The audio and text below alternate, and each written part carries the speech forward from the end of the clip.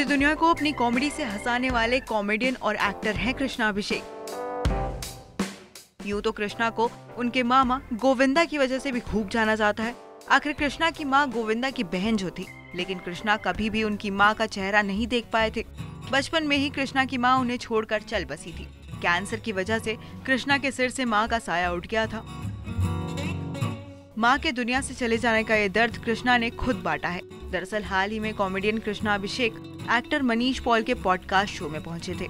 यहाँ कृष्णा ने अपनी ज़िंदगी से जुड़े कुछ ऐसे खुलासे किए, जिसके बारे में शायद ही लोगों को पता होगा। मनीष के पॉडकास्ट के वक्त कृष्णा अपनी माँ को याद करते हुए भावुक भी हो गए।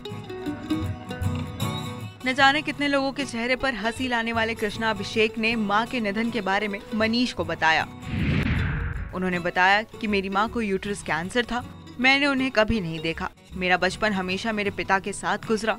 कृष्णा ने बताया कि मैंने साल भर पहले अपनी माँ को पहली बार लाइफ में देखा। ये वीडियो दूरदर्शन के एक शो के लिए बनाया गया था, जिसमें मेरी नानी गाते हुए नज़र आ रही थी और उनके साथ ही मेरी माँ बैठी हुई थी, जो उनके साथ गा रही थी। ये पहली बार था जब मैंने अपनी माँ को लाइव वीडियो में देखा। ये बोलते हुए कृष्णा रो पड़े। कृष्णा ने आगे बताया कि मैं दो साल का था जब माँ का निधन हुआ। मेरी माँ मामा गोविंदा को बहुत प्यार करती थी। वो चाहती थी कि गोविंदा बड़ा स्टार बने। कृष्णा ने बताया कि जब माँ की डेथ हुई और उनकी बॉडी को उठाया गया तो उनके बिस्तर के नीचे से गोविंदा मामा की तस्वीर निकली थी।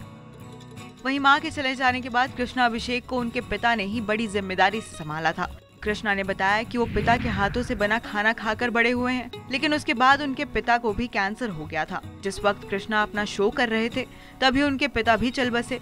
ये वक्त भी उनके लिए काफ़ी मुश्किल रहा था। इस इंटरव्यू के दौरान एक्टर की आँखों में कई बार आँसू आ गए थे। भले ही कृष्णा का इस समय मामा संग रिश्ता अच्छा नहीं चल रहा, लेकिन इस पॉडकास्ट में उन्होंने गोविंदा की खूब तारीफ़ की।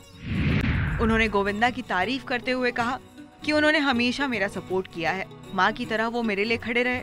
हालाँकि प्रोफेशनली उन्होंने मेरी मदद कभी नहीं की, क्योंकि वो चाहते थे कि मैं अपने दम पर स्ट्रगल करूँ। वहीं इस दौरान कृष्णा ने यह भी खुलासा किया कि उनके मामा गोविंदा ने कृष्णा अभिषेक के जन्म के लिए मन्नत मांगी थी, जिसके बाद उनका जन्म हुआ। दस साल के बाद मैं पैदा हुआ था। मन्नत पूरा करने के लिए जब मैं चार या पाँच साल का हुआ तो उन्होंने मुझे कंधे पर बैठाकर वैष्णो देवी के दर्शन करवाए थे। इसी इंटरव्यू में कृष्णा ने ये भी कहा कि, गोविंदा मामा, मैं सच में आपसे बहुत प्यार करता हूँ और मुझे तुम्हारी बहुत याद आती है। मैं आपको हमेशा याद करता हूँ। उन्होंने कहा कि उन्हें लगता है कि गोविंदा भी उन्हें बहुत मिस करते हैं। गौरतलब है कि गोविंदा के भांजे कृष्णा अभिषेक और उनके बीच झगड़े की खबर कई सालों से सुर्खियों में है।